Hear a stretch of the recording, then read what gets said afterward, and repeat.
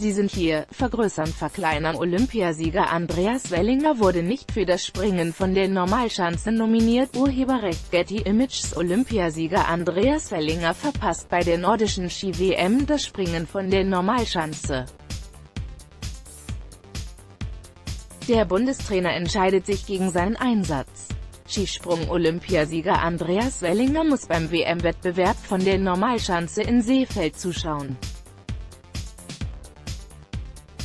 Der 23-Jährige zeigte im Abschlusstraining nur eine mäßige Leistung, Bundestrainer Werner Schuster entschied sich daher gegen eine Nominierung Wellingers.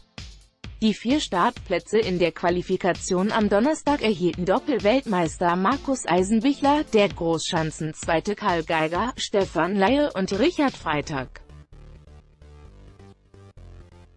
Wellinger hatte bereits beim Goldtriumph der Mannschaft auf der Großschanze in Innsbruck den Sprung in das Team verpasst.